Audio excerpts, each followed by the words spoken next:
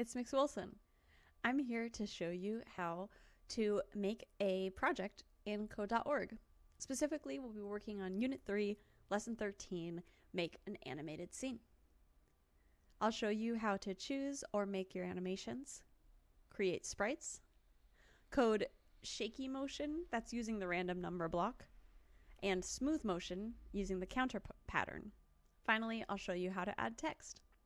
Feel free to pause this video at any time to work along. Here I am in code.org lesson 13. I've got a plan for my scene in mind. I want to have a farm scene background with a sun in the middle doing shaky rotational movement and a rain cloud gliding smoothly over it, covering the sun as it passes. Let's make that a reality. First, we click the Animation tab in the upper left corner. As you can see, I've already added some sprites, some sprite animations. The way you'll do that is by clicking this plus, new animation. You can choose an animation that code.org already has, or you can also draw your own. You click new animation and draw your own. You, you can see that you can also upload images from the internet. Notice the name that your animations have, and then it's time for coding. Click the Code tab in the upper left. All right, we've chosen or made our animations. Now we're going to create the sprites. Creating the sprites um, will always happen before the green draw loop. So we go to the red sprites drawer in the toolbox and drag out the first two code blocks.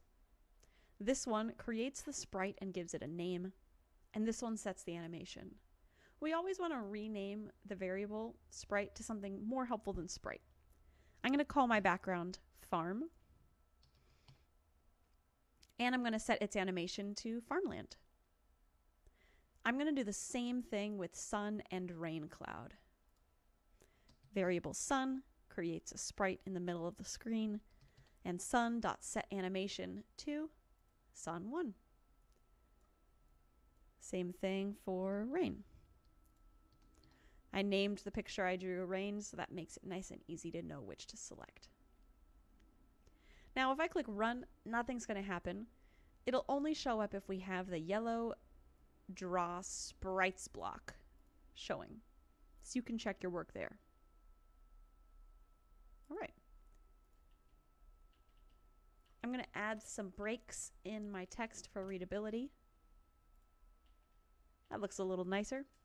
And when I checked this by putting draw sprites, I realized that I want my rain cloud a little bigger. I want it to cover the sun when it's in the center of the screen.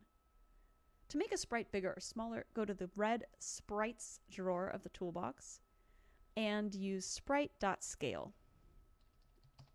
Rain.scale, I want it bigger, so I'm going to pick a number bigger than 1, like say 3. Woohoo! Okay, perfect. Now, let's choose the starting location for our sprites before we animate them. I want the sun to be right in the middle, and I have that, but I want my rain cloud to start far off screen. So I'm going to set the x value to something negative. Uh, let's try negative 100. You can just see it poking through there. I'm going to make it a little bit more negative so you can't see it at all when the, when the program starts. Cool. There's the start of my program. We have chosen our animations. We've created our sprites. Now let's code shaky motion using the random number block. I want my sun to be rotating kind of shakily. Anytime you want your sprites to be moving, we're going to use the green drawing block, which is in the yellow world tab of the toolbox. Just to show that one more time, in the yellow world tab of the toolbox, I click the green function box and drag it out to the workspace. All right. I want to have the rotation property of the sun be changing all the time. So I do sun.rotation gets a random number from 1 to 10. This should make the rotation of the sun Pick random numbers between 0 and 10. Let's see what happens. Nothing. What did we forget to do? Draw the sprites. In the yellow world area, put a draw sprites block inside the function draw loop, and let's see what happens. Ah, yes. Cool. I want my sun to have a little bit more rotation. I'm going to have it rotate between negative 10 degrees and 10 degrees. Play around with these numbers to find the rotation that you want. All right. Now I need to, now I want to animate the smooth motion using the counter pattern, and I want to make my rain cloud move smoothly across the screen. All right. To move in the left-right direction, I'll use dot .x. And I want to be changing the x property of the rain cloud, so I make it rain.x. Gets. I'm going to do a plus. I go to the orange math drawer of the toolbox and do a plus. And then I put the same property that I have here again. So I'm going to do rain.x again. Rain.x. I'll do plus 2. What this should do is tell the program to update the x property of the rain sprite by adding 2 each time. So every time this loop is executed, the rain cloud will be 2 more further to the right. Let's check it out. yes! My vision is coming to fruition. Cool. So we've animated shaky animation and we've animated smooth animation. Finally, let's add some text. I want to show you that you can add text to this just by putting the text commands inside of the green function draw loop. Text options are in the blue drawing drawer of the toolbox. And we want to put them after the draw sprites block because um, one of our sprites is the background. There's our text, super small, in the middle, in the corner. I'm going to say, uh, we put what we want our text to say here.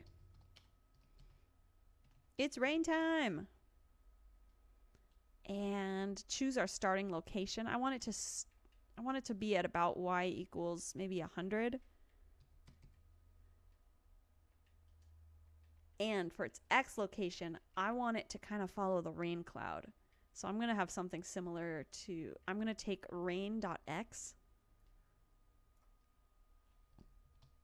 What this should do is make the text's x location update as the cloud's x location updates.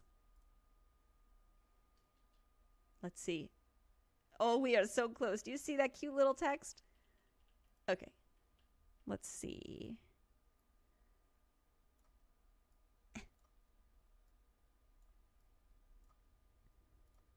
I'm going to do rain.x and subtract a little bit from that, maybe, let's say 50, and make the text bigger by putting text size above text and make the text blue. And let's see what we get. Oh, yes, it's rain time. I'm happy with that. If you want to adjust anything, you can. If you want to make that cloud move faster, you can.